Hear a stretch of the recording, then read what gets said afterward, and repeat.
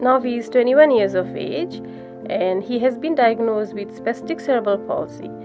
And he, he has increased muscle tone on both sides of his body, which makes his movements very difficult for him. He also has uh, poor hearing on his left ear and has speech and feeding difficulties.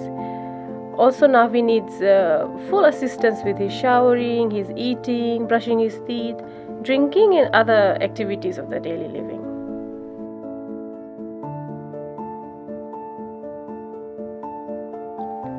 Navi has major postural problems. His tight muscles and stiff joints make it difficult for him to control his head and neck. Even sitting upright is a challenge for him. He developed scoliosis over time due to poor positioning. He was receiving physiotherapy by the in house physiotherapist but did not have a mobility device until 2018. That's when he received his first ever pediatric wheelchair.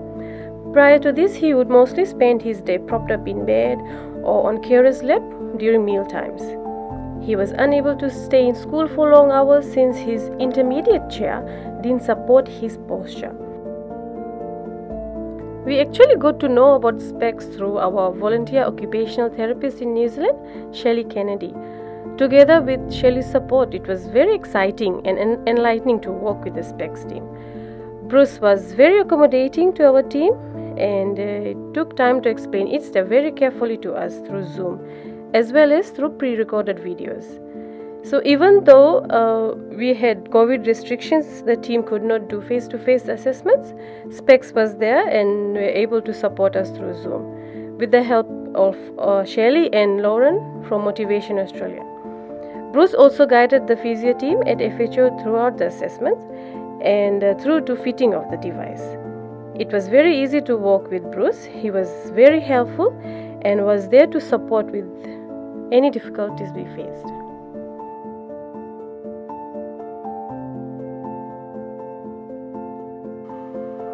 Navi really loves his new wheelchair. He has a better sitting position. He's more stable while sitting and he has a better head control. It seems more comfortable for him as the cushion and the backrest adjust to his body shape. The new chair has a recliner, hence, he can rest when he needs to. He is able to communicate and participate well in school and also at the hostel. The new wheelchair has made a huge difference for the caregivers and the Frank Hilton organization. Because he is able to control himself better, it's easier for the caregivers to engage with him now. This new wheelchair has given him more independence so it is easier for the caregivers to carry out his activities of the daily living. This chair is, a part, is part of Navi now and he really likes it. And this is very rewarding for the entire Frank Hilton organization family. For the physio team, it, it, it was an opportunity to see what an advanced seating device looks like and how it can support our clients' needs better. Now he likes to be independent as possible. So the organization would like to encourage him to use his sport to communicate as much as possible. So given the opportunities, he can improve his independence in all aspects of his life.